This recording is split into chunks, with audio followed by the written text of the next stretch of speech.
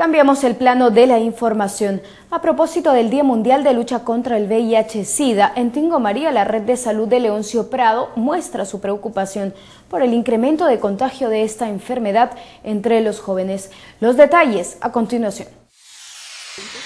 La obstetra Miriam Espinosa del Hospital de Tingo María expresa su preocupación por el incremento que ha notado de la presencia del virus de inmunodeficiencia adquirida VIH-Sida en personas de edades bastante cortas, señalando que este número obedece al inicio muy temprano de las relaciones sexuales.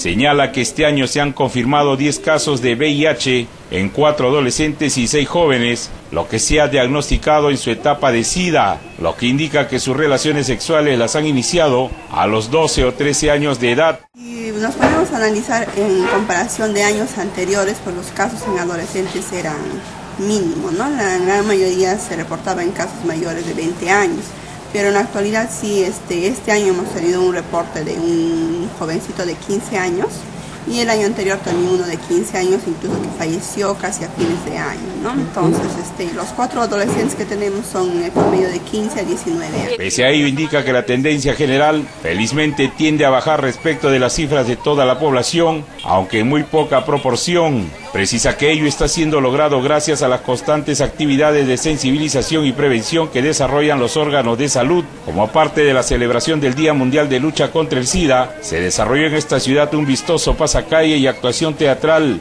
La actividad fue organizada por la Red de Salud de Leoncio Prado.